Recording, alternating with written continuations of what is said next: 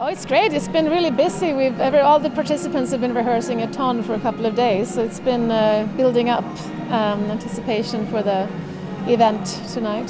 I'm usually a little bit too, uh, thankfully, busy to get nervous, or, but it's it's nice to see it when it's beginning, so so you get in the zone.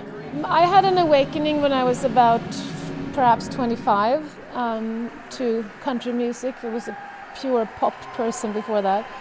And uh, Emmylou Harris' record Wrecking Ball was the first step for me into the humongous world of country and Americana and roots and all that.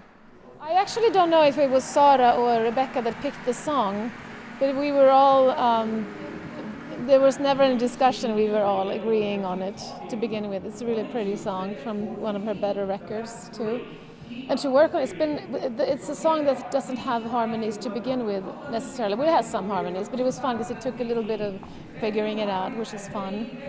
And it also of course like any of Emmylou Harris's music it lends itself really well to a ton of harmonies and this is your second time performing at the Polar ceremony. How does it feel to be here again?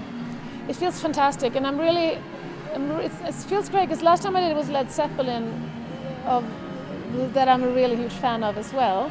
I mean, there's been people I really admire after and before that too, of course, but it feels like it's been really making a lot of sense, sort of, and it feels to do to do to Emmylou, which is I think Emmylou Harris is probably the the biggest one of my heroes that's been awarded the Polar Prize ever. So I'm really glad they thought of me.